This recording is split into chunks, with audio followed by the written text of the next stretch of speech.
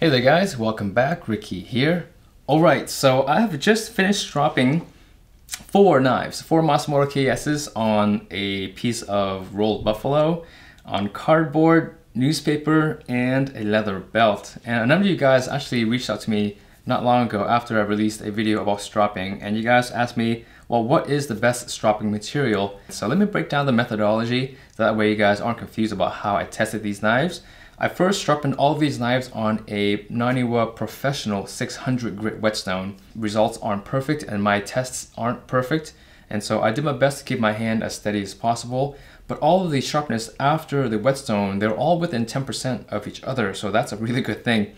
Now for those who don't understand what I'm talking about in terms of sharpness level, I'm talking about the Edge On Up PT50A. That's what I use to measure the sharpness levels of all of my knives. And it measures everything in grams. So when it gives your knife a number, say 333, it's telling you that it took 333 grams to cut a filament on top of a scale, a very high precision scale. Let me tell you, the first numbers I'm gonna read off are the numbers of the knives off of the whetstone. I'll just name these by uh, the materials. So the belt knife, newspaper knife, the cardboard knife, and the rolled buffalo knife. So the belt knife off of the whetstone had a sharpness level of 333. The newspaper knife received a score of 308. And then the cardboard knife had 331, so it was within two points of the belt knife. So go Ricky. uh, and then the rolled buffalo had a score of 300. So again, all of them are within 10% of each other.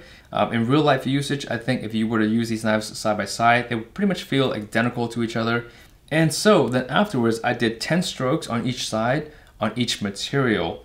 And after the first 10 strokes, here are the scores. So I'm reading the numbers directly as they are. Hopefully by the time you guys see this video, I would have had a chance to put together a graph to make all of the numbers make sense and show you guys actual percentage gains or losses. And so after the first 10 strokes on each side, the belt knife received a score of 302. So it had a reduction or a reduction of resistance or an increase of sharpness by roughly 10% or so, which isn't bad considering that it's just a regular belt. The newspaper knife received a score of 305, so that was surprising to me. The newspaper pretty much didn't do anything at all for a knife that was sharpened on a 600 grit whetstone. The cardboard knife was actually pretty surprising. After the first 10 pairs of poles received a score of 260, so a pretty dramatic reduction of cutting resistance. The rolled buffalo received the best score of 219. So the rolled buffalo leather took off the most micro materials on the cutting edge and uh, definitely cleaned it up the best. And then I didn't stop there. I figured let's go to round two and see how the materials hold up over time.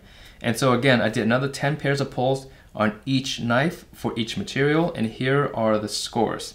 So the belt knife received a score of 285. Not too much of a change. You're looking at a little bit less than 10%, I think.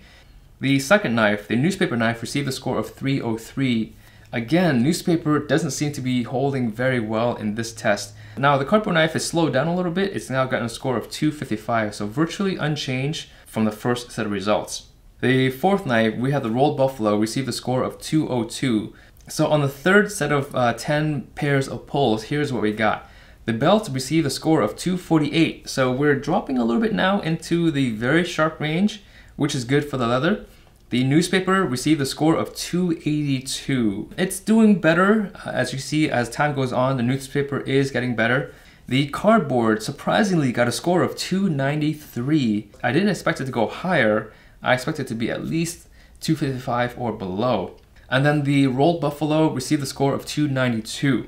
So before I talk about the results, I went back to the cardboard knife and did another 10 pairs of poles because I really wasn't convinced I did it right or something was going on.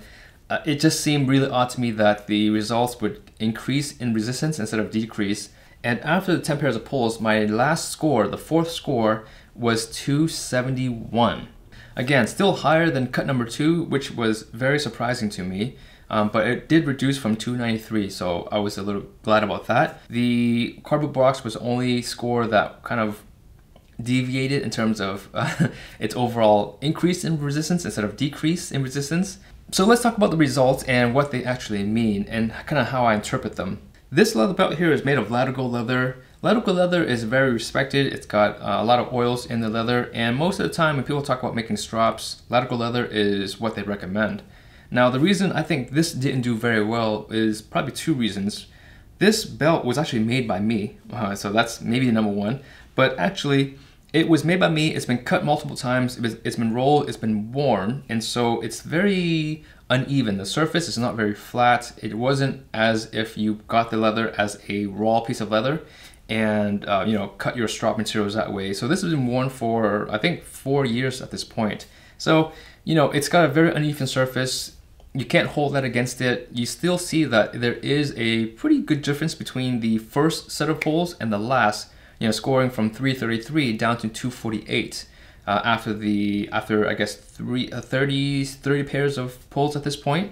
So not a bad material as a strop. You know, if you guys had a leather belt laying around and you didn't want to buy a leather strop or invest in you know any sort of fancy compounds, a leather belt will do okay. Just don't expect it to do miracles, um, but it will work okay.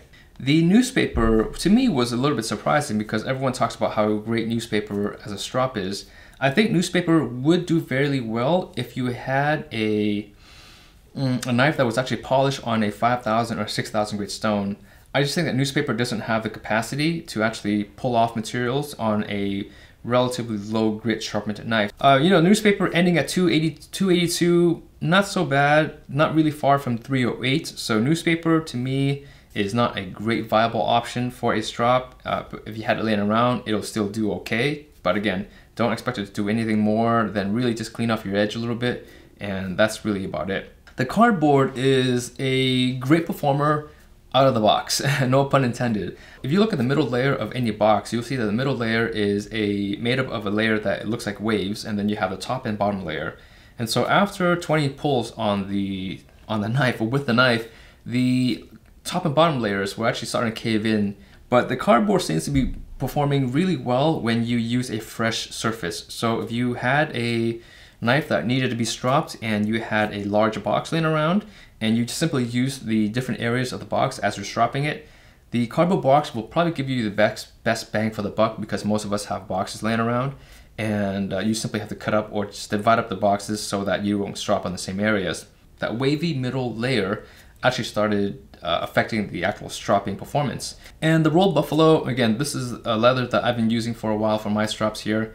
Um, I find it to be much more aggressive cutting than Latigo, and I also find it to be much more resilient than Latigo, and so that's why I use it for my strops. Uh, the scores surprised me. I actually thought the cardboard box would have done the best overall, uh, or at least at, after the first 10 strokes or so, but the rolled buffalo proved that it's a much better material than the cardboard box and the Latigo. So scoring 219, 202, 192, you saw that the scores was progressively getting better, uh, which is a good thing because if you're going to invest, you know, 20, 30 bucks on a piece of leather for a strop, you would hope that it would do its job properly. Uh, so all in all, I mean, you can see the results for yourself. Keep in mind, all of these knives were sharpened on a 600 grit whetstone. Had I polished them on a 3000 or a 6000 grit whetstone, I think the results would be very different from what we see here, but I didn't do that today. That will be for another video. So I want to give away my cardboard strop. Uh, this strop here, you know, is a lot of, it was a lot of fun to make. Obviously, it was more of a, as a joke than anything else, but um, this is a carbon fiber base. It's a four millimeter carbon fiber base. If you guys didn't want to keep the cardboard box, which I don't recommend you keeping, um, you can put on some 3M sharpening film on it or buy a piece of leather and put it on this strop. It will make for a really amazing strop. This base here is super stiff. It'll pretty much last forever unless you crack it with a hammer of some sort. Um, but it's a super stiff material and uh, it's something that I really love using. A lot of my newer strops are all using carbon fiber. So um, if you guys want this, let me know you want it uh, in the comments. Let me know what you do for a living and where you live and I will pick a winner. I will pin the winning post um, about a week after this video has been posted. Okay? Well, thank you guys for watching and I'll catch you in the next video.